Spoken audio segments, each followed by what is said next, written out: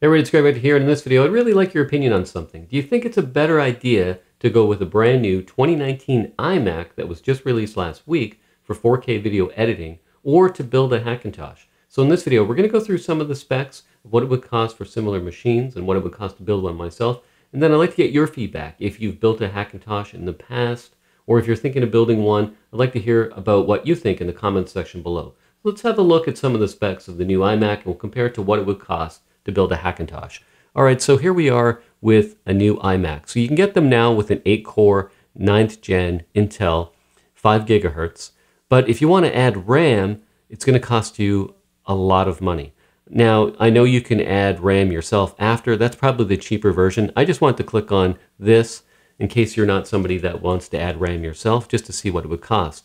Now, you can get all of these components to build a Hackintosh. So you can see down here, it's about $3,799. So I went ahead and I looked at some parts. So we would need a case in order to build a Hackintosh.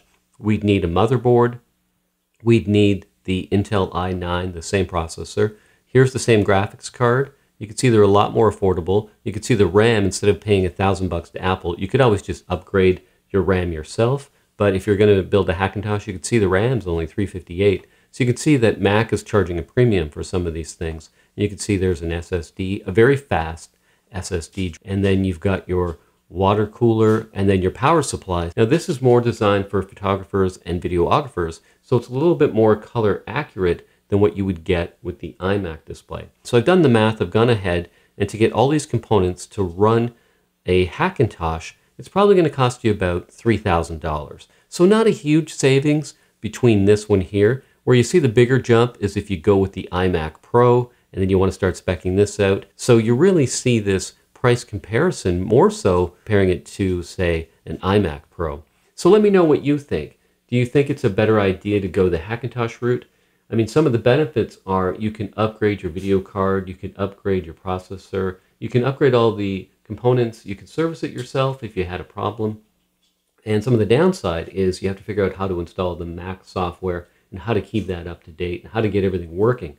So there's a bit of a downside. There's a bit of a savings, obviously, especially the higher you go, the more you want to spec out an iMac Pro. And also there's the heat considerations too. If you think about how small the iMac enclosure is, you don't really have that airflow. Your processor is going to run really hot. So those are some considerations. But if you like ease of use, then you can just order the iMac and it shows up and everything's going to work.